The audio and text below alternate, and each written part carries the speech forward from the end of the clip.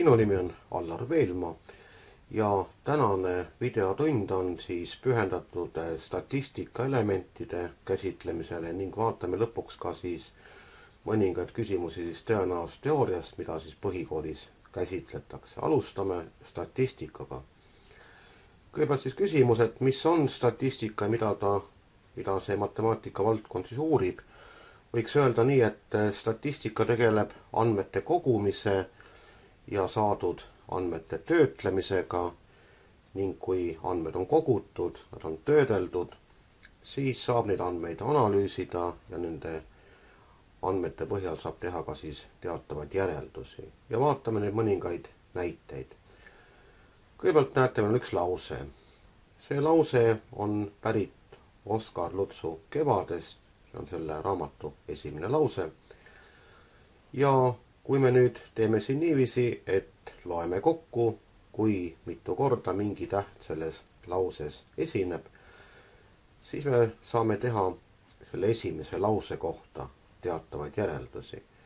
nii et näete, olge nüüd head ja loendage ära, mitu A tähte te siit leiate. paneme siis siia praegu kirja, et täht A ja me ei tee vahet suurel ja väikesel A-l, nii et hakkame algusest pihta, näete üks, kaks, kolm, neli, viis,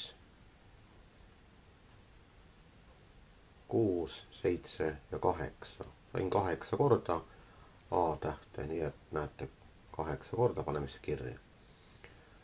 nüüd võiks võtta siis, et ähm, mitu korda esineb siis B täht. ja hakkame jälle algusest otsast pihta. Kui Arno isaga koolimajja jõudis, olid tunnid juba näete, üks kord B täht on, nii et üks kord. mitu tähte või mitu korda on siis Õ täht, kui Arno isaga koolimajja jõudis, näete, Õ täht on ka üks kord. Ja kui me võtame veel näiteks, võtame siit tähe Y siis Oskar Luts nii moodne kirjanik ei olnud, et oleks siin Y-eid kasutanud kohe siis raamatu esimeses lauses. nii et näete, Y-it me kahjuks siit ei leia ja tuleb siis null korda. kui me nüüd teeme siis niiviisi, et võtame mingi tekstilõigu, mitte ühe lause, aga rohkem, näiteks võtame siis pool lehekülge või kaks või kolm lehekülge sest sel juhul me saame siis iga tähe esinemise sageduse. see on siis, näete, praegusel juhul öeldakse, et absoluutne sagedus ehk siis kordade arv. ja kui see meil on tehtud, siis me saame välja arvutada ka suhtelise sageduse, mis näitab siis seda, et mitu protsenti siis kõikidest tähtedest näiteks on siis A selles tekstis. oletame, et kusagil kuuesajast tähest näiteks on sada korda A, siis järelikult suhteline sagedus tuleb siis nii, et näete kuussada tähte ja sellest on sada korda A, siis järelikult suhteline sagedus on siis sada kuuesajandikku ehk üks kuuendik. nii et see oli meil esimene näide. aga võib-olla meie jaoks natuke eluvõõras, sest sellist statistikat ja sellist äh, andmete kogumist me tavaliselt ei tee. sellega tegelevad siis keeleteadlased ja jätame selle ülesande siis hetkel neile. Läheme natukene elulisema näite juurde. keegi Mari või Meri, ma ei tea, kuidas tema nime nüüd hääldatakse siin täpselt. tema hinded on sellised. nii et selle ülesandega olete te kõik ise kokku puutunud. Teie hinded on loomulikult, ma arvan, et natukene paremad aga selle merihinded on siis täpselt nii, nagu nad on. nüüd eh, teeme siis esimese asja. näete, meil on siin hinded reas, aga nad on läbisegi ja meil on jube raske siin nüüd orienteeruda. esimese asjana me teeme sellise liigutuse, et paneme need hinded kasvavasse järjekorda ja vot selle kohta öeldakse siis, et me moodustame variatsioonirea, nii et näete, variatsioonirida variatsioonirea võib moodustada kahtepidi. panna siis suurused kas kasvavalt või kahanevalt. ja kuna meil on hetkel hindeid vähe, siis me saame kiiresti hakkama. ühtesid on selles loendis, näete, kaks tükki, nii et üks ja üks. hinne kaks on Meeri lemmikhinne, näete, tema esineb siin üks, kaks, kolm, neli, viis, kuus korda, nii et kirjutame siis kuus kahte.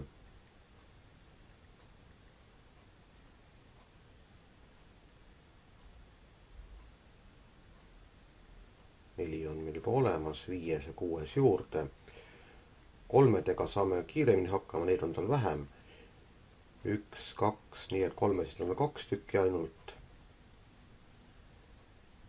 vaatame, kuidas Meril hinne, hinne neli, hinne neli on ka kaks korda. nüüd ma kirjutasin küll valesti, jah. nii et näete, neli on tal siis kaks korda. ja hinne viis, hinne viis on tal isegi kolm korda, nii et näete, ega ta nüüd päris rumal ka ei ole. nüüd oleme saanud variatsiooniread nüüd siis loeme kokku, kui palju meil siis hindeid on, nii et näete kaks, neli, kuus, kaheksa, kümme, kaksteist. meil on viisteist hinnet. ja selle kohta öeldakse ka, et see on siis valimi maht. selles valimis on meil siis viisteist hinnet. ning mida me siis üheksandas klassis peame teadma?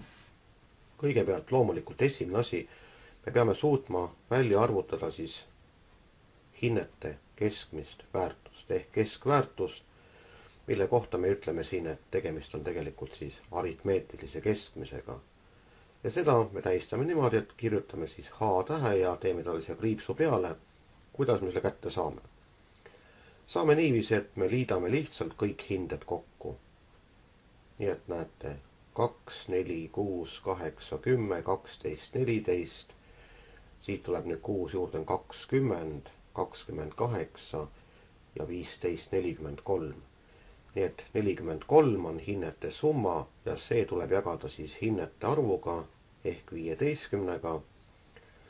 ja võtame siin kümnendiku täpsusega ning tulemuseks saame siis, kui me siin ära jagame, näete ise, et kolme veel kokku ei tule. nii et kümnendiku täpsusega tuleb siis keskmiseks hindeks kaks koma üheksa nii et üks suurus, mida me peame oskama alati arvutada, on siis keskmine, aritmeetiline keskmine. nüüd teine suurus, mida meil samuti läheb päris tihti vaja, mille kohta öeldakse siis mood ehk see, mida on kõige rohkem. ja kui me hakkame seda variatsioonirida siin vaatama, siis me märkame kindlasti, et hinnetest näete, kahe rida on meil kõige pikem Neid hindeid on ju kogunisti kuus tükki. ja moodi tähiseks on siis suur M, alla kirjutame O. ja kuna moodiks on meil, näete, kaks, siis me kirjutamegi, et Meri hinnete mood on kaks. sõna mood kasutatakse loomulikult ka tavaelus, näiteks kui hakkavad äkki daamid kõik andma rohelisi kübaraid, eks ole et see paistab tänavas pildis välja, siis öeldaksegi, et kübara mood, moodiks on siis roheline. et roheline on moes. ja see mood võib siis loomulikult aja jooksul muutuda, meili hinnetega me ei tea, mis temaga tulevikus saab. igal juhul tema hinnete mood on hetkel kaks. ja nüüd näete, kuna meil on viisteist hinnet, siis me mõnikord sellise statistilise rea, variatsiooni rea puhul leiame ka mediaani. mediaan on siis selline väärtus, millest vasakule poole ja paremale poole jääb siin täpselt ühepalju ja hakkame vaatama. kuna meil on viisteist arvu reas, siis mitmendal kohal selles, selles reas paikneb nii-öelda keskmine liige keskmine liige on ilmselt kaheksandal kohal, nii et vaatame üks, kaks, kolm, neli, viis, kuus, seitse ja kaheksa. ja näete, praegusel juhul teen talle siia väikese ristküliku ümber. vasakule poole jääb seitse ja paremale poole jääb ka seitse arvu. nii et mediaaniks on siis selle variatsiooni rea korral arv kaks. mediaanist räägitakse ka näiteks palga puhul, inimeste palk on siis kaks erinevat arvu, mida kasutatakse palga puhul, on siis aritmeetiline keskmine ja on ka mediaanpalk.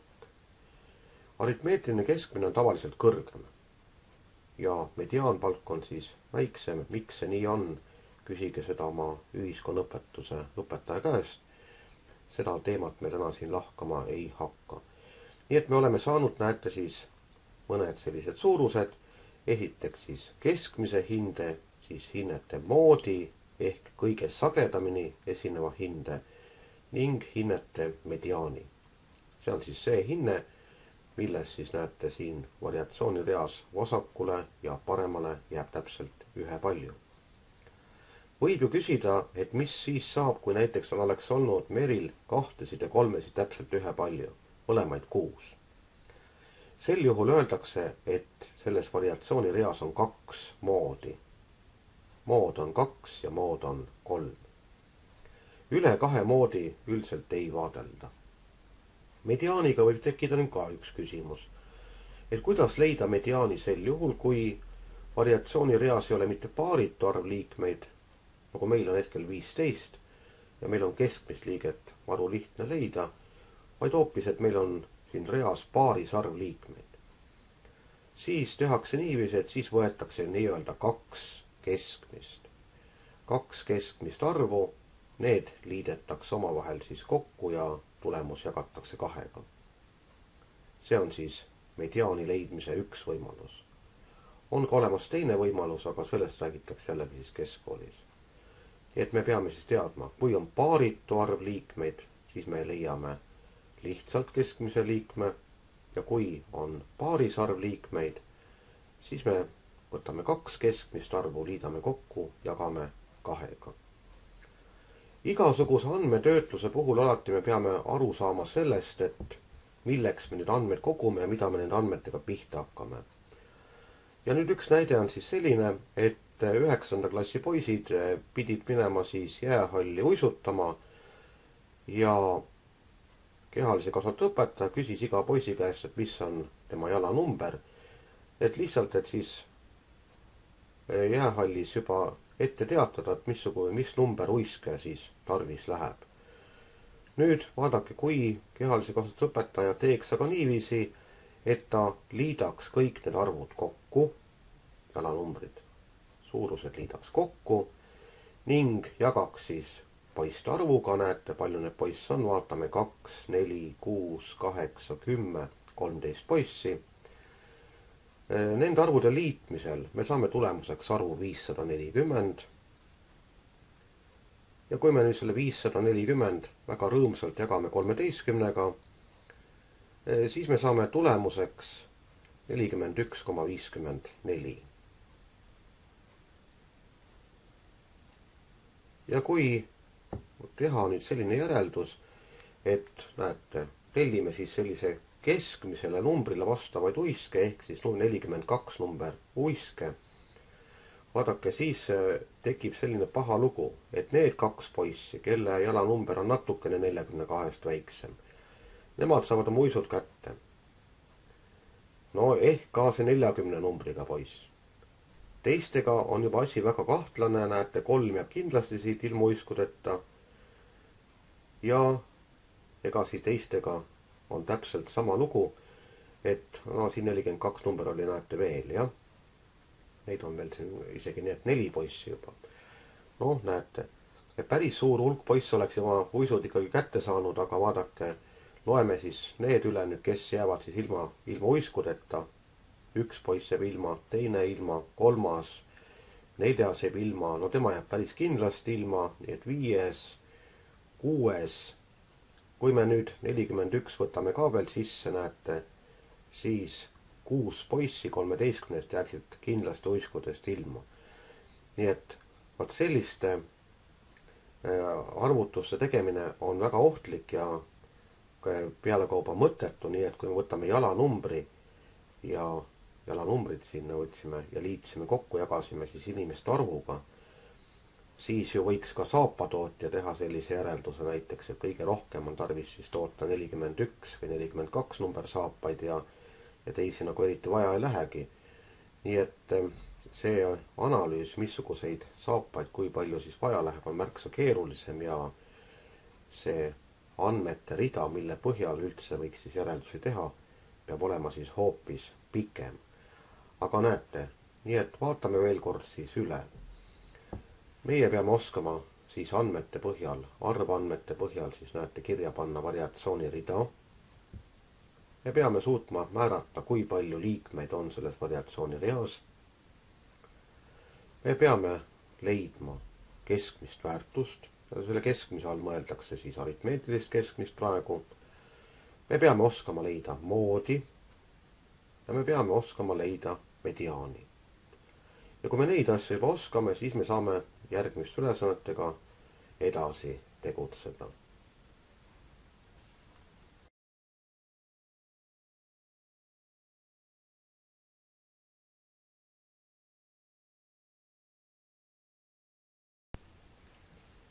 selles ülesandes on meie kangelaseks Juku, kelle neljanda veerandi matemaatika hinded on siin toodud. nii et näete, neljanda veerandi algus on tal läinud päris sandisti siis on ilmselt eh, rakendatud hirmutamise kolmandat astet tema peal ja näete, edasi läheb asi juba lausa väga hästi. küsitakse aritmeetilist keskmist, hinnetel moodi, mediaani ning koostame siis variatsioonirea ja sagedustabeli. Eh, loomulikult me alustame variatsioonireaga. nii et kõigepealt näete, kirjutame siis nüüd need hinded siin kõik siis kasvavas järjekorras, nii et näete, nad on praegu esialgu meil läbisegi. nii et paneme hinded kirja siis kasvavas järjekorras. ühtesid on kolm tükki. nii et üks, üks ja üks. kahtesid on üks. nüüd loeme kolmed kokku kolmedega ta ka eriti suur sõber ei ole, nii et kolmesid on tal üks neljadega on, näete, neljasid on kaks tükki. ja tal on ka kaks viit. nüüd on meil siis variatsioonirida koostatud. ja kui me selliseid asju teeme, et variatsioonirida paneme kirja, siis pärast seda on mõistlik üle kontrollida, kas meil on täpselt siin sama palju liikmeid, kui oli esialgu et kui arve on palju, siis võib kogemata mõni arvudest jääda nii-öelda kahe silma vahele. meil on, vaatan, palju meil siin arve on, kaks, neli, kuus, näete, meil on üheksa tükki siin arve ja siin üks, kaks, kolm, neli, viis, kuus, ka üheksa, nii et näete, kõik klapib. arvud, arve oli meil vähe, nii et me midagi kahe silma vahele ei jätnud. nüüd vaatame siis edasi. me saame leida siis aritmeetilise keskmise ja aritmeetrilise keskmise leidmiseks loomulikult me teeme siis niiviisi, et liidame need kõik Juku hinded kokku ja arvutame siis keskmise väärtuse, nii et näete, kui me nüüd Juku hinded siin kokku liidame, te saate seda vabalt siin peas teha ja ega siin midagi väga keerulist ei ole, näete, siit tuleb ju kolm, kolm ja kaks on viis, kolm juurde kaheksa kaheksa, kaheksa on juba kuusteist ja kümme juurde kakskümmend kuus. nii et kakskümmend kuus tuleb siis järelikult üheksaga meil jagada. ja kui me selle jagamise tehte nüüd ära teeme, siis jätame seekord siis kaks kohta peale koma ehk võtame siis sajandiku täpsusega. nii et kaks koma kaheksakümmend üheksa. kolme veel kokku ei tule, aga kui Jukul on, näete, trend on selline, et lõpus on neljad-viied, siis mõned viied tulevad juurde ja keskmine ületab juba siis kolme. aga seda peab veidi ilmselt veel ootama. nii et näete, aritmeetiline keskmine on leitud. missugune on Juku hinnete mood? Juku hinnete mood, näete, on üks. kahju küll, aga ühtesid on kõige rohkem, nii et näed, mood on üks milline on nüüd Juku hinnete mediaan? siia me kirjutasime nüüd moodiks kolme, aga see kolm on vale, näete. loomulikult me kirjutame ühe, nii et kui ka eksamitöös peab tegema parandusi, siis seda teeme. millest see kolm tuli? kolm tuli sellest, et neid hindeid oli tal kolm tükki ja vot niimoodi eksamitöös võite ka kogemata kirjutada siis valesti. nii et näete, see viga on väga selline õpetlik. Mediaan on keskmine arv selles variatsiooni reas. näete, keskmine arv paikneb selles reas hetkel viiendal kohal. vasakule poole jääb neli arvu ja temast paremale ka neli. nii et näete, mediaaniks on siis kolm ja see on loomulikult praegusel juhul ka õige. me oleme leidnud aritmeetilise keskmise, me oleme leidnud moodi, mood on siis üks, kõige sagedamini esinev hinne üldse. ja mediaan on, näete, kolm. mediaani saab võtta ainult variatsioonirea järgi. ei tohi võtta siis eh, seda rida, kus on hinded alles korrastamata. ja näete, kui ma võtaksin viiendal kohal oleva arvu siit üks, kaks, kolm, neli, viis, me saaks arvu kaks ja see kaks on loomulikult siis vale. et tegelikult on mediaaniks kolm nüüd sagedustabel. Sagedustabel on selline tabel, kuhu pannakse siis kirja kõik need suurused, mis meil esinevad ja märgitakse üles ka mitu korda see suurus siis esineb. noh, näiteks kui meil alguses oli üks näide teksti kohta, et me loeme mitu korda mingi või loendame õigemini, mitu korda mingi täht esineb, siis meil ei ole mõtet hakata ju tegema variatsioonirida, saate aru, et siis me peame kirjutama täpselt sama pika teksti, kui enne oli et sel juhul loomulikult tehakse siis niiviisi, tehakse tabel ja meie teeme ka nüüd tabeli, näete. ja tabelisse me märgime siis niimoodi, kirjutame siis hinne. ja siia kirjutame siis arv. või selle arvu asemel kirjutame siis sagedus.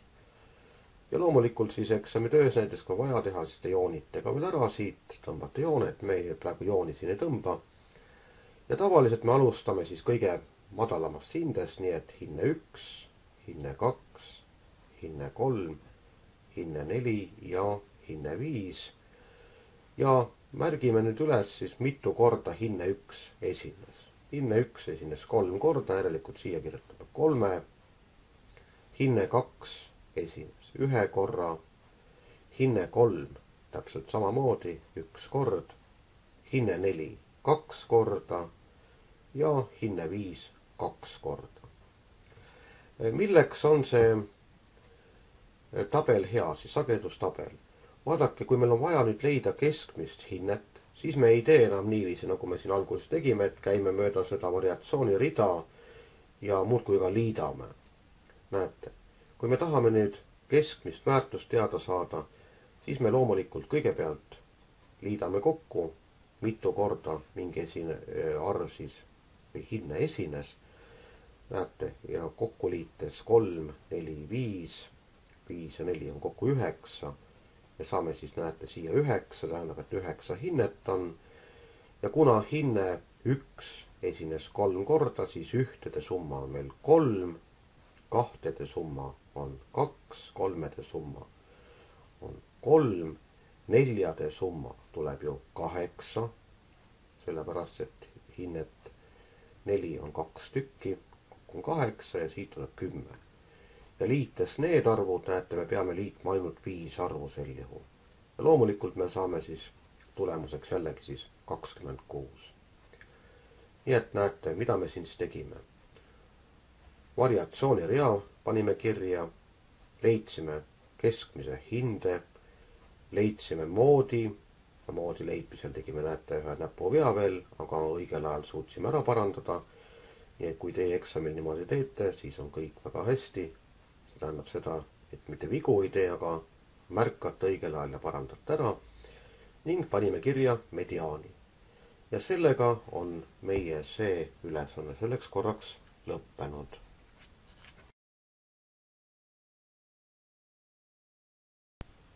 järgmises ülesandes on meil ühe kooli üheksanda klassi lõpetajate matemaatikaeksami tulemused juba kirjas, nii et näete, meil on, seisab alles eksam ees, aga neil juba tehtud. nüüd eh, teada on, et eksami sooritas kuuskümmend kaheksa õpilast ja tulemused on siin tulpdiagrammil kirjas. aga nüüd eh, natukene on selle diagrammiga probleeme, vaadake, hinde neli koht on tühi. ja meie ülesande juures ongi esimene küsimus, et mitu õpilast sai hindeks nelja loomulikult sellele küsimusele ma arvan, et kõik me oskame vastata. kuna kuuskümmend kaheksa õpilast üldse eksami tegi, siis me näeme hinne üks, kuus õpilast, hinne kaks, seitseteist õpilast, hinne kolm, kakskümmend viis õpilast. nelja saajate hulk on teadmata, see ongi meie ülesanne. ja hinde viis sai seitse õpilast. et nüüd tekib siis ühe küsimus, et missuguse tehtega me saame teada siis eh, hinde neli saajate arvu. loodetavasti tahate te mulle öelda, et selleks tuleb siis kuuekümne kaheksast lahutada kuus, seitseteist, kakskümmend viis ja seitse me võime selle lahutamise tehte teha peast, aga te võite ju igaks juhuks ka taskuarvuti appi võtta, nii et näete, kavalam on muidugi teha niiviisi, et need arvud enne kokku liita, näete, kuus ja seitseteist, kakskümmend kolm. siit saame juba nelikümmend kaheksa ja neljakümne kaheksale paneme siis veel siit seitse juurde. kokku on viiskümmend viis ja kuuekümne kaheksast lahutame viiskümmend viis on tulemuseks kolmteist, nii et näete, kolmteist õpilast olid siis need, kes said sellel eksamil hindeks nelja. nii et nelja saajate hulk. ja loomulikult eksamitöös panete siis selle tehte kirjaga siia ette, kirjutate siis ühe selgitava lause, et õpetaja saaks aru, mida te siis siin mõtlete. niiviisi näete kui soor, suur osa õpilastest sai vähemalt rahuldava. vähemalt rahuldav. mida see tähendab? See tähendab nüüd seda, et arvesse lähevad siis praegusel juhul kõik need tulemused, kus on siis hinne kolm, hinne neli või hinne viis. vähemalt rahuldav kui oleks öeldud, et kui suur osa õpilastest said hindeks rahuldava, siis on jutt ainult nendest kahekümne viiest kangelasest, kes said siis hinde kolm. praegusel juhul vähemalt kolm tähendab seda, et võtame arvesse siis kakskümmend viis, siit me saame siis kolmteist. seda tulpa me siin joonestama ei hakka, sellepärast et mitte kusagil pole meil seda öeldud siin. et me ei pea seda tegema. aga kes tahab, loomulikult võib seda ka teha ja näete, nii et kakskümmend viis, kolmteist ja seitse. liidame kokku. Kakskümmend viis pluss kolmteist pluss seitse. kolmteist ja seitse kokku liites on kakskümmend, kokku saame siis nelikümmend viis. nelikümmend viis õpilast on siis. ja kui küsitakse, et kui suur osa, küsitakse osa näete, siis järelikult nelikümmend viis kuuekümne kaheksandikku ongi meie vastus. nii et kui te annate sellise vastuse, et üheksanda klassi lõpetajatest nelikümmend viis kuuekümne kaheksandikku sai hindeks vähemalt rahuldava, siis on teie vastus täiesti korrektne. kui te tahate anda selle vastuseni protsentides, siis loomulikult nelikümmend viis jagate kuuekümne kaheksaga ja korrutate saja protsendiga. nii et sel juhul tuleb siis vastus protsentides. ja kui te selle arvutuse teete, siis te saate kuuskümmend kuus koma kaks protsenti ligikaudu. See on aga siin täpne vastus. nii et täpne vastus on loomulikult parem, sellega saab hiljem ka siis opereerida. ligikaudne vastus on natuke sandim selles mõttes, et ähm, kui meil on väga palju ligikaudseid tulemusi, siis võib lõpuks viga minna väga suureks nii et näete, me oleme selle punkti teinud. mitu protsenti õpilastest peab eksami uuesti tegema? järelikult meie käest küsitakse nüüd siis seda, mitu protsenti on neid õpilasi, kes said hindeks ühe või kahe. Neid õpilasi on meil kokku, näete, kuus ja seitseteist, kokku liites kakskümmend kolm. järelikult meie käest küsitakse kõigepealt siis mitu protsenti, see kakskümmend kolm kakskümmend kolm moodustab kuuekümne kaheksast. missuguse täpsusega me nüüd vastuse anname? Me võime anda siin kümnendiku täpsusega või mõnda sajandikku täpsusega, täpselt nii, nagu me ise soovime. ja näete, kui tahetakse teada, mitu protsenti moodustab üks arv teisest, siis me teeme sellise tehte. kakskümmend kolm jagame kuuekümne kaheksaga ja korrutame saja protsendiga. me ei saa siin täpset vastust, nii et näete, paneme siis ligikaudse võrdluse märgi. ja jätame seekord siis siin ühe koha peale koma ehk anname vastuse siis kümnendiku täpsusega. ja kümnendiku täpsusega tuleb meie vastus kolmkümmend kolm koma kaheksa protsenti. nii et pisut enam kui kolmandik selle kooli üheksanda klassi lõpetajatest läheb teisele katsele. ei saanud esimese korraga eksamit tehtud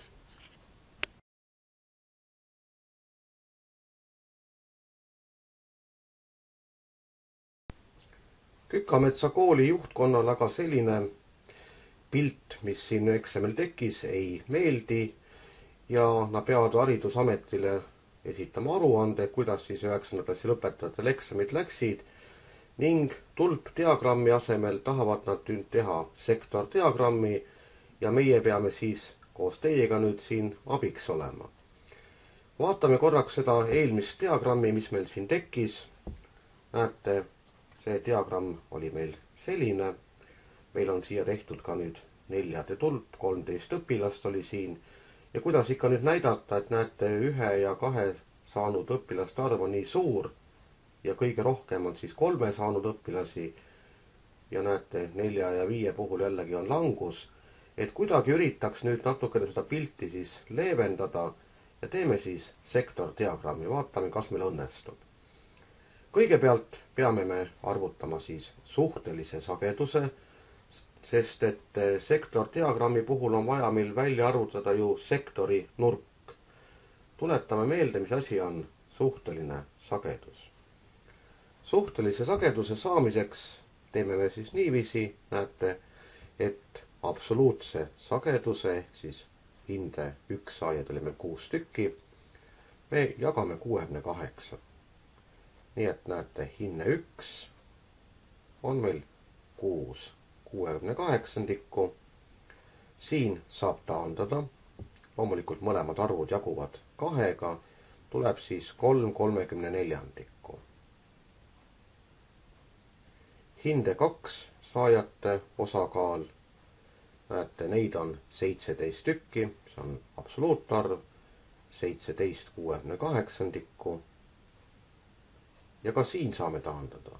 siin tuleb meil täpselt üks neljandik. hinde kolm saanud õpilased, neid on kakskümmend viis, nii et kakskümmend viis kuuekümne kaheksandikku. siin taandada ei õnnestu. ning hinde kaks saanud, vabandust, hinde kaks juba oli juba olemas, hinde neli saanud õpilaste arv. hinde neli õpilaste arv on näete kolmteist, nii et tuleb siis kolmteist kuuekümne kaheksandikku.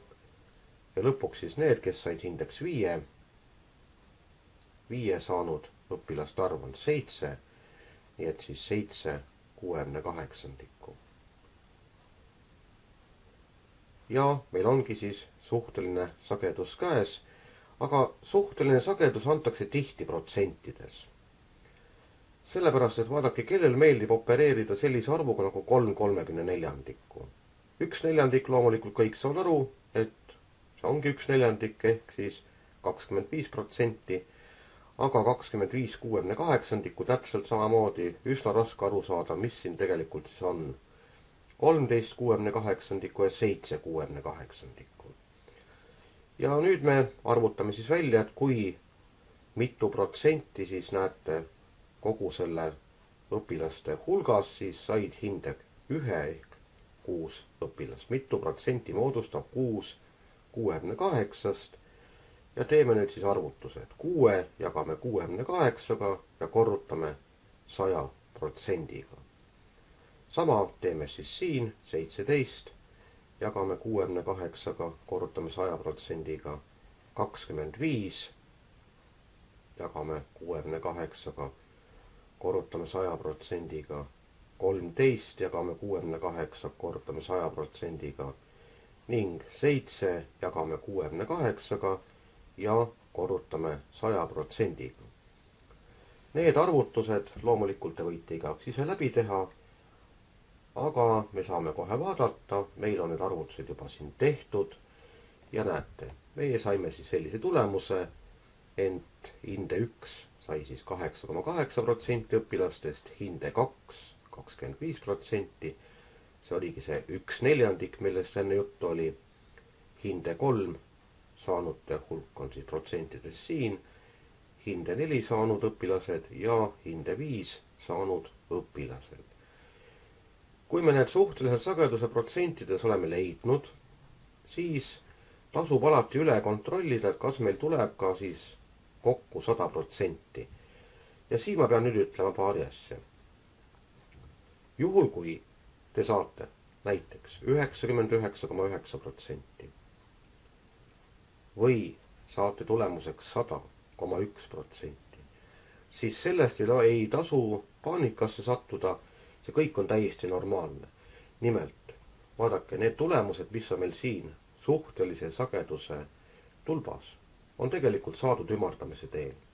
ja mõnikord võib juhtuda, et ümardamine, ümardame nii, et ümardame ülespoole, lihtsalt ümardamise reeglit kasutades.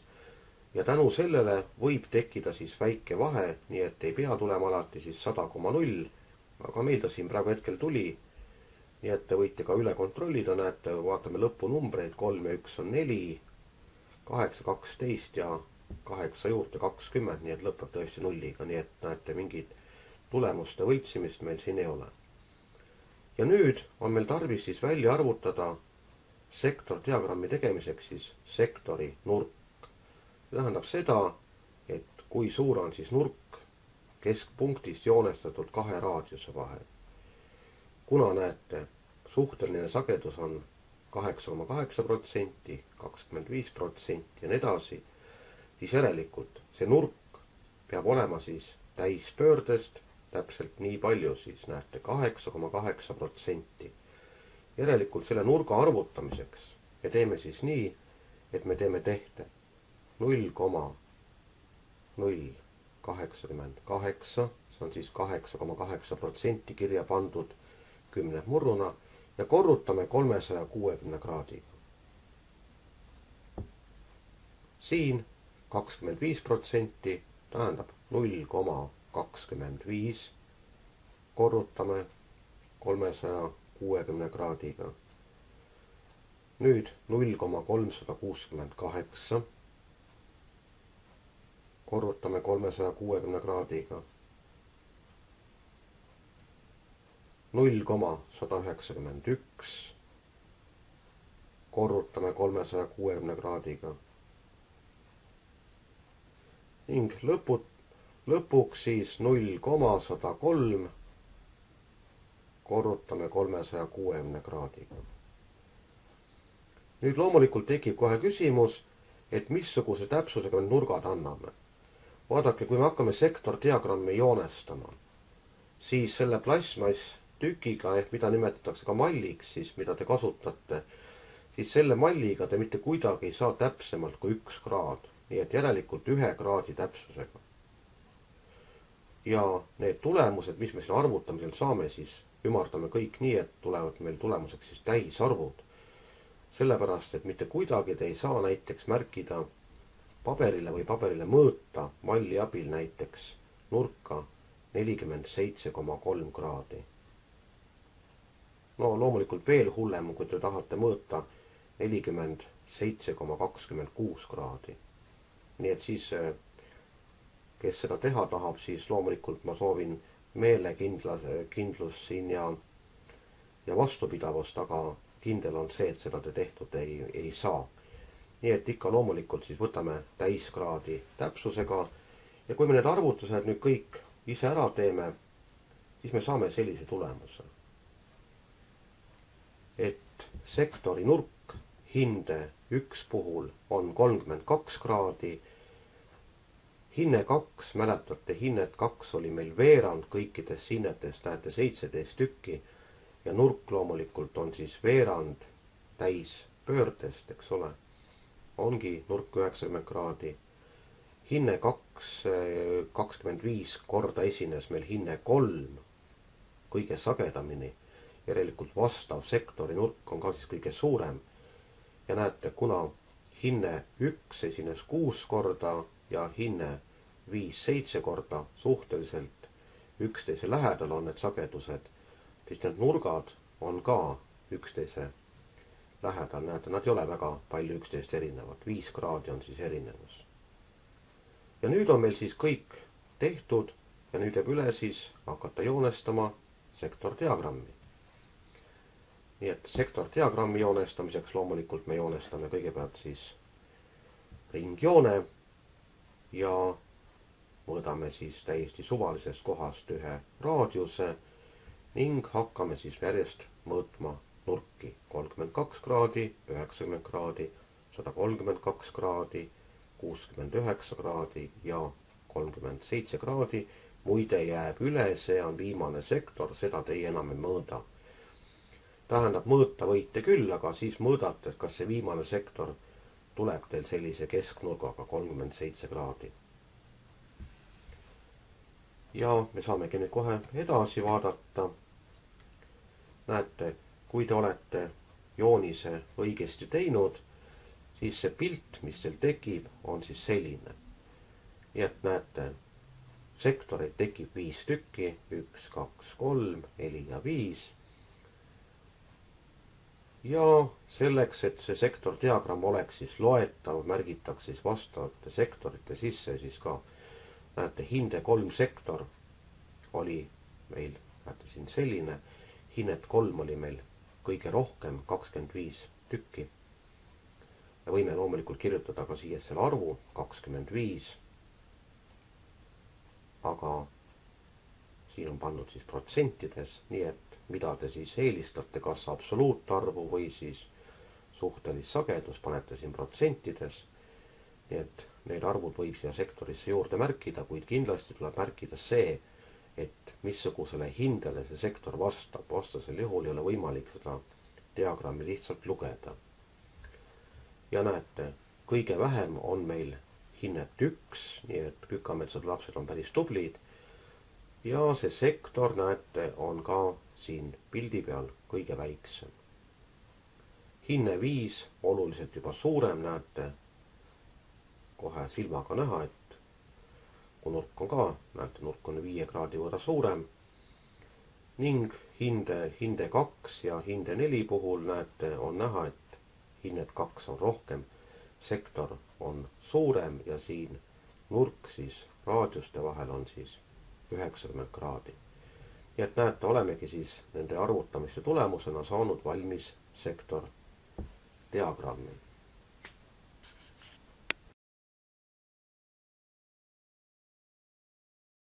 viimane ülesanne statistika kohta ja ikka meil mängus Kükametsa kooli üheksanda klassi lõpetajad. näete, nüüd on siis diagrammil üheksanda klassi eksami tulemused ja tuleb koostada siis sagedustabel kui eksami sooritas kuuskümmend kaheksa õpilast, nii et näete, oletame, et eh, kooli juhtkond esitas siis Haridusametile sellise, sellise sektordiagrammi, nagu te siin näete. aga sellel, sellel sektordiagrammil on üks oluline puudus, nimelt eh, ei ole siin ju näete õpilaste arvu mitte kusagil näha, et mitu õpilast mingisuguse hinde sai, on ainult protsendid ja teine häda on veel hullem, vaadake, hinde neli juures ei ole isegi protsente mitte kirjas. nii et meie esimene samm on siis, näete siin praegusel juhul, tegeleme natukene siis taastamistööga, kui see võimalik on. meil on vaja nüüd teada saada, mitu protsenti õpilastest sai hinde neli. mõni ütleb, et kuulge, et kerime nüüd videot natuke tagasi ja vaatame, et seal on andmed olemas on küll, aga me oleme juba nii nutikad, et me suudame ilma videot tagasi kerimata ka välja arvutada. kuidas me teada saame? vaadake, kõik hinded kokku annavad meile ilmselt sada protsenti, jah. mitte keegi ei jäänud hindamata ja mitte keegi pole saanud kaks korda hinnatud, nii et järelikult sada protsenti.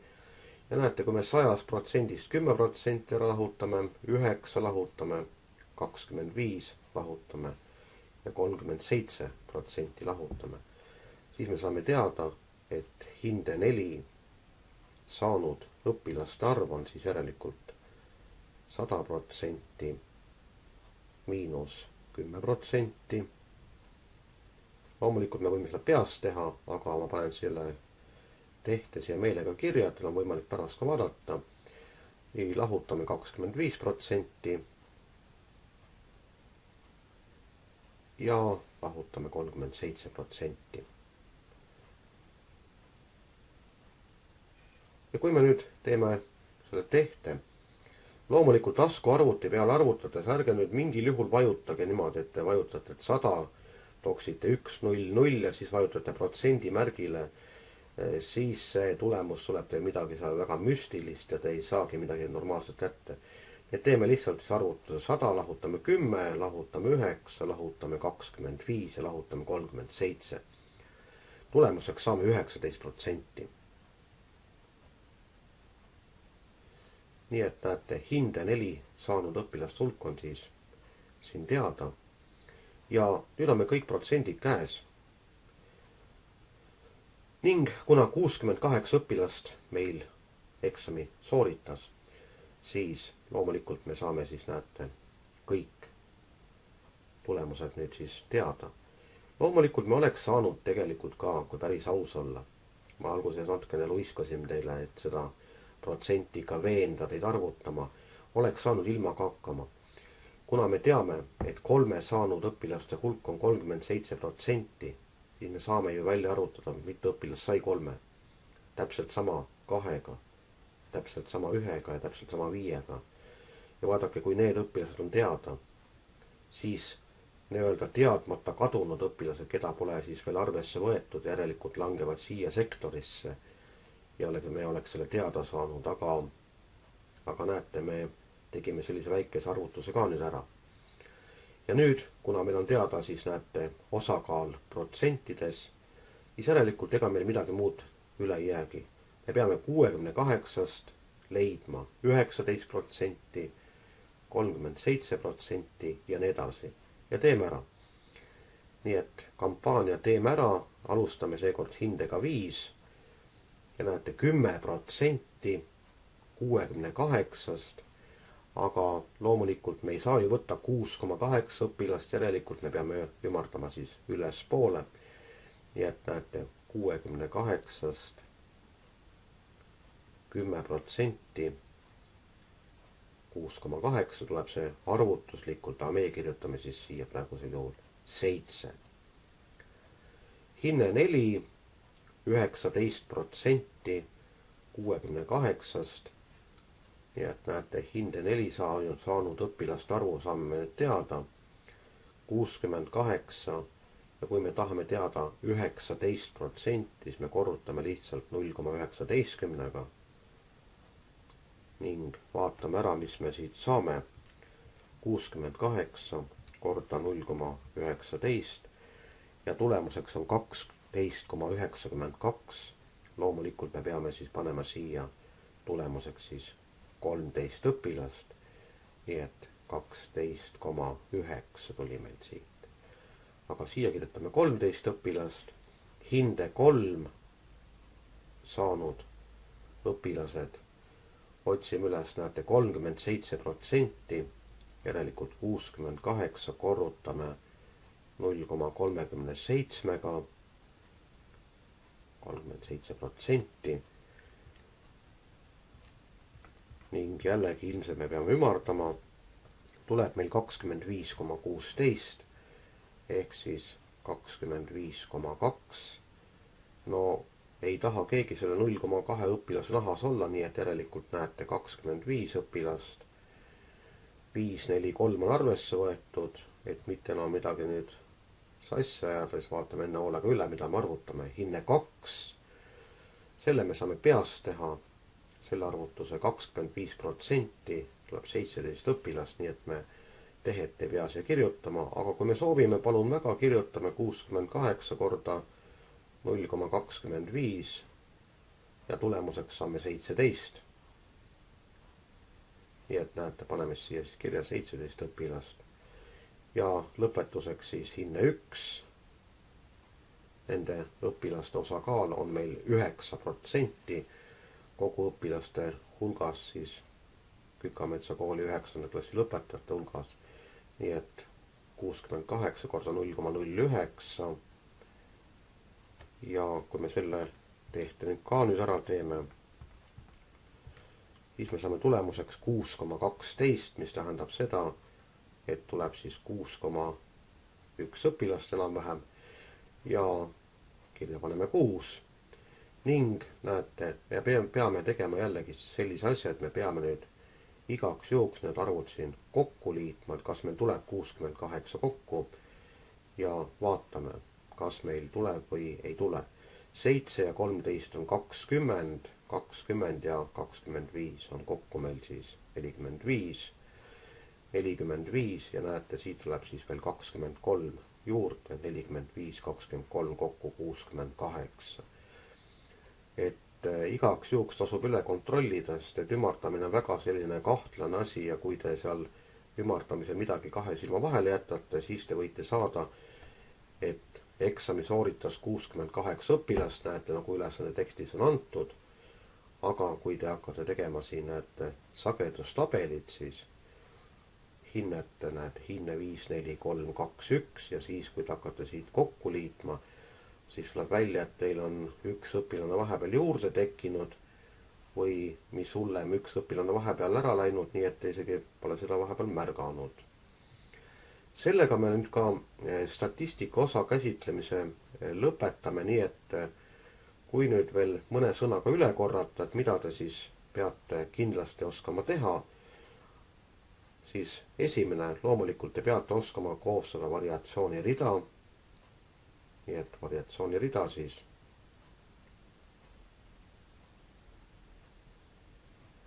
teiseks peate oskama leida aritmeetilist keskmist.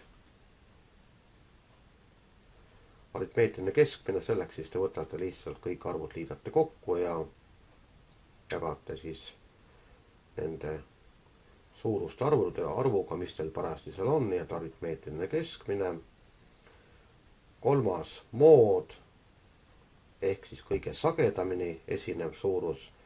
neljandaks mediaan. mediaani me saame leida variatsioonirea järgi. et kui meil on variatsioonirida kirja pandud, siis mediaan paikneb meil siin keskel, temast vasakule ja paremale poole jääb arve siis ühepalju. juhul, kui on paaritu arv liikmeid ja kui on paaris arv liikmeid, siis võtame kaks keskmist liidame kokku, jagame kahega.